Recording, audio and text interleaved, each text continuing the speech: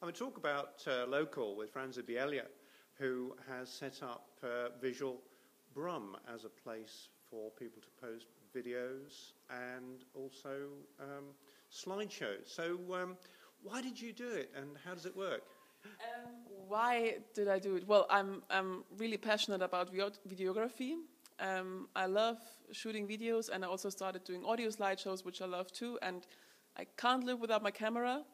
Um, I basically take it nearly everywhere, and um, so it was. I wanted to do a project about videography and about visual stuff, and I noticed that um, there are not enough or not a lot of videos about Birmingham-based stories here. And I came across Notice because Sarah Hartley introduced it to us in our journalism course, and yeah, then I set up Visual Brum on Notice, trying to build up a visual community in Birmingham. So you've just done a little session at Talk About Local Conference here. Can you just run me back over your little demonstration? Yes, I, I will. So um, we're here on Notice right now. That's which is that's Notice. Um, everyone is able to post reports there. It's it's pretty easy, and you can also um, create notice boards, uh, which are dedicated to a certain topic. In my case, it's Visual Brum and dedicated to visual stories, um, which should be videos and audio slideshows based in Birmingham.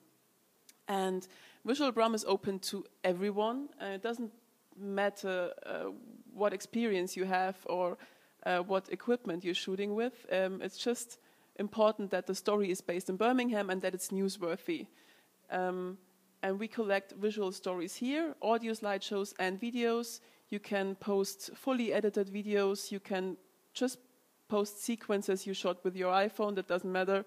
And as I said, it doesn't matter what experience you got. Um, the community is also here to exchange feedback, give tips, and extend each other's skills, which we are doing, or which I'm trying to do in a forum I created. And um, that's basically it. Yeah.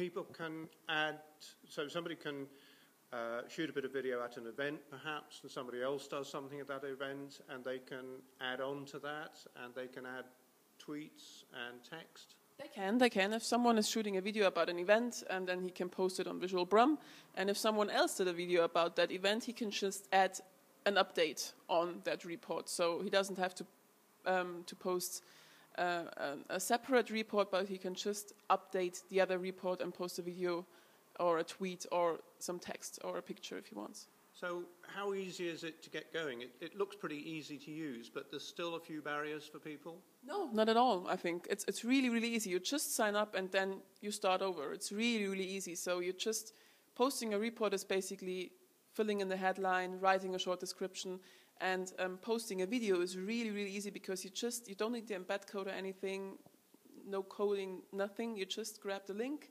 um, to your video and then you post it in your description box or in your update, if whatever you want, and um, then it will show up on notice. So no one has to click through another link and get to another site. It will directly be on notice, and you can watch it right there.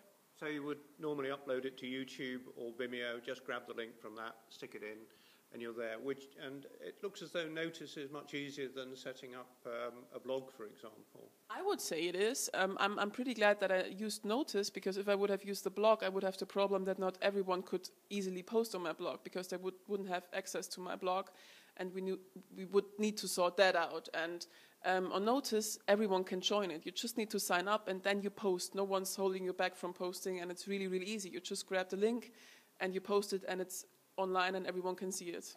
So how does it mix in with Facebook, for example? Is it easier than Facebook? Are there advantages, do you think?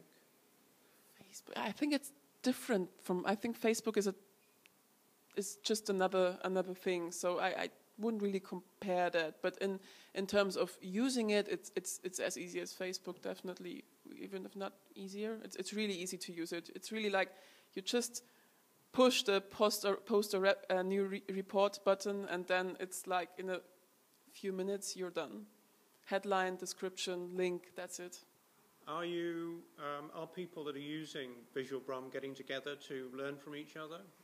Not yet, unfortunately. that's actually my plan. That's what I what I want to because I don't want to just collect those videos and audio slideshows and uh, not speak to each other. My aim is that we are really having a communication there, that we are learning from each other, that we are having meetups, that would be great, and uh, running workshops, talking about stories, about um, feedback we're giving each other, and that, that's actually a big aim of mine, to really have a community that is helping each other out and um, helping to extend each, each other's skills. Do you think that um, video helps build community and relationships? I mean, one thing I always find, if you do a little bit of a video interview with somebody, they always remember you. Yeah, I think I think video is, is really important, and I, also think that uh, people like watching videos. You know, I think you can get um, a lot of people on your side if you're offering videos too, because I think people really like watching videos or, in general, watching visual stuff if it's audio slideshows or videos. And I think that that can be a great advantage if you're working with video, and it's fun. It's really fun.